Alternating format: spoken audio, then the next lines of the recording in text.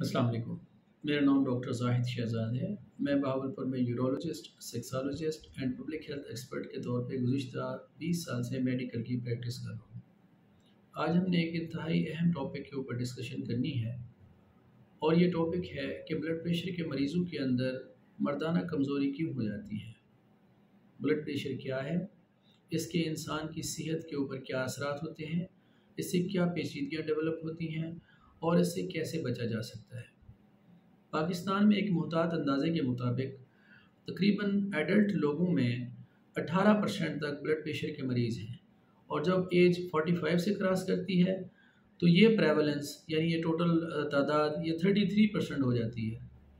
हर तीसरा मर्द या औरत जिसकी एज 45 ईयर से ज़्यादा है, वो ब्लड प्रेशर का शिकार है। जब भी ब्लड प्रेशर इंसान का 130 बटा नब्बे से ऊपर क्रॉस करे और वो परसिस्टेंट रहे तो ऐसा मरीज़ हाइपरटेंसिव होता है, यानी ब्लड प्रेशर का मरीज़ होता है। और इस ब्लड प्रेशर से होता क्या है? जब ये ब्लड प्रेशर खून के अंदर, खून की नालियों में बहुत ज़्यादा प्रेशर रहे तो उसकी वजह से खून की नालियाँ स्टिफ हो जाती हैं, सख्त हो जाती हैं। और सख्त होने की वजह से उनकी लचक ख़त्म हो जाती है। और वो एक हार्ड पाइप की तरह हो जाती है, जिसमें से जब ब्लड गुजरता है तो बहुत ज़्यादा प्रेशर के साथ गुजरता है और नुकसान देता है। दूसरा, इसके अंदर एथीरोसिक्लोसिस हो जाती है, यानी फैट्स की डेपोजिशन हो जाती है और साथ और इन्फ्लेमेटरी मटेरियल्स की डेपोजिशन होने से खून की नालियों का जो ल्यूमन है, जो सुराख है, वो तंग हो जाता है। और इस सुराख के तंग हो जाने की वजह से नैरो हो जाने की वजह से ब्लड और ज़्यादा प्रेशर के साथ जाता है।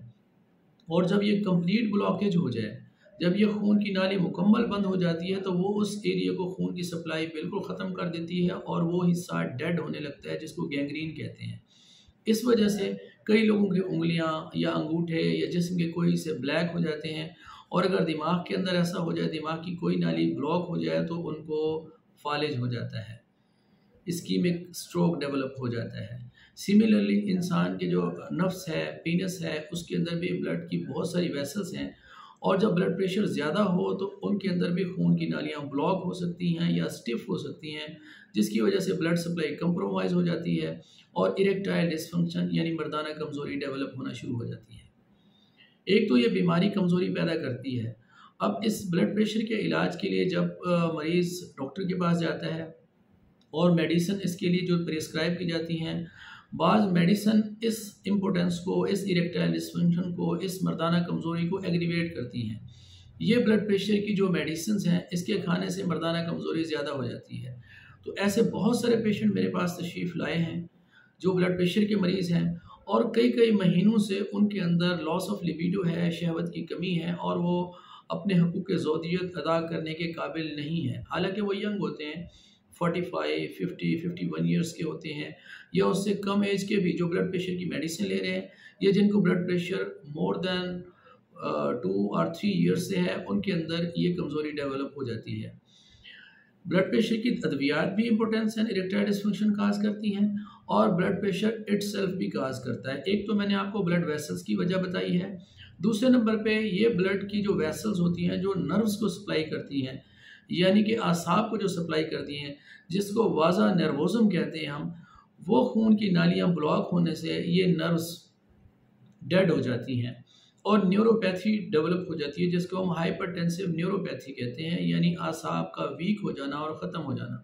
इसकी वजह से सेंसेशंस लॉस हो जाती हैं, बॉडी के डिफरेंट हिस्सों की सेंसेशंस लॉस हो जाती हैं और ये फाइन नर्व्स होती हैं, बहुत ज़्यादा डेलिकेट नर्व्स और आसाब होते हैं पाँव के तलवों से स्टार्ट होते हैं, हाथों के हथेलियों से स्टार्ट होते हैं और इसी तरीके से कोई नर्व्स ब्लॉक हो जाए या डैमेज हो जाए तो फेशियल पॉलिसी जिसको हम लकवा कहते हैं वो भी हो सकता है। इसके अलावा जब ये नफ्स की तरफ़ इन नर, असाब की सप्लाई ख़त्म हो जाती है या ये न्यूरोपैथी डेवलप होती है तो उसकी वजह से इम्पोर्टेंस कम्प्लीटली डेवलप हो जाती है, मुकम्मल मर्दाना कमज़ोरी आ जाती है इरेक्शन बिल्कुल नहीं होती। तो एक बीमारी काज कर रही है, दूसरा ये मेडिसिन जो है, ये मेडिसिन भी उनके अंदर ये पैदा कर रही हैं। तो इसका हल क्या है? इसका हल ये है कि हर वो फैक्टर जिसकी वजह से ब्लड प्रेशर ज़्यादा होता है, पहले तो उसको कंट्रोल किया जाए और अपने आप को ब्लड प्रेशर से बचाया जाए। उसके लिए सबसे पहले है कि अपना वज़न ना बढ़ने दिया जाए। नमक का परहेज़ किया जाए फैट्स का इस्तेमाल कम किया जाए बड़े छोटे गोश्त को, अंडों के इस्तेमाल को छोड़ दिया जाए और रोज़ाना एक से डेढ़ घंटा वॉक किया जाए और साथ साथ अपने आप को रिलैक्स रखा जाए एक्सरसाइज की जाए, किसी भी किस्म की टेंशन परेशानी, गुस्सा और गम, इससे अपने आप को दूर रखा जाए। अगर किसी की फैमिली के अंदर ब्लड प्रेशर है तो वो अपना फ्रीक्वेंट ब्लड प्रेशर चेक करते रहें, अपने वेट को कंट्रोल में रखें, अपनी डाइट को देख के खाएँ और अपने मिजाज को नॉर्मल रखें तो वो इस रिस्क फैक्टर से बच सकते हैं।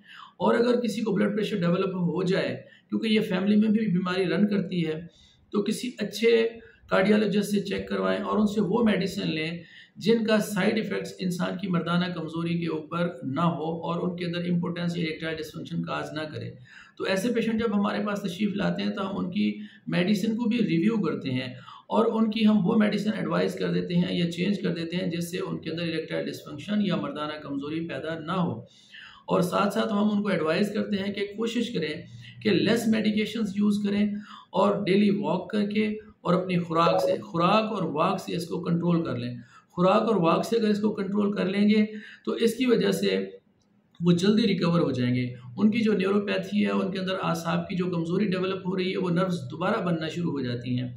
मेडिसिन के चेंज करने से, डाइट के चेंज करने से, और साथ लाइफस्टाइल मॉडिफिकेशन से, यानी वॉक करने से, और थोड़ा उनके साथ हम और मेडिकेशन एडवाइस करते हैं, जिसकी वजह से उनकी ये नर्व्स जल्दी रिजनरेट हो जाती हैं, और उनके अंदर थोड़ी वेजोडाइलेटेशन हो जाती है, और उनको within four to six week के अंदर वो दोबारा उनके अंदर जो उनकी इरेक्शन है, वो दोबारा उनको गेन कर लेते हैं। उनके अंदर मर्दाना कमज़ोरी दूर हो जाती है और वो अपनी नॉर्मल मर्दाना ज़िंदगी इंजॉय करना शुरू कर देते हैं और उनकी अजवाजी ज़िंदगी बहुत ही ज़्यादा खुशगवार हो जाती है।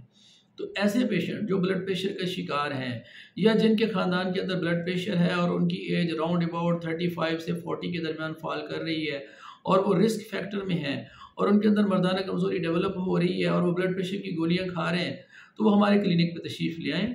हम उनको असेस करेंगे एवेलुएट करेंगे, उनकी तबीयत चेक करने के मुताबिक, उनकी मेडिसिन देखने के मुताबिक हम उनकी दवाइयों को चेंज कर देंगे और उनको सजेशन देंगे, थोड़ा लाइफस्टाइल मॉडिफिकेशन बताएँगे और डाइटरी मॉडिफिकेशन बताएँगे, जिससे उनके अंदर ये इरेक्शन का प्रॉब्लम ये importance and loss of libido ख़त्म हो जाएगी और वो अपनी ज़िंदगी की लताफ़तों को दोबारा बेहतरीन तरीके से इंजॉय कर सकेंगे और मोर देन सिक्सटी या सेवेंटी ईयर्स तक वो अपना ये सेक्शुअल एक्ट बिल्कुल सही एंड नॉर्मल अंदाज से परफॉर्म कर सकेंगे।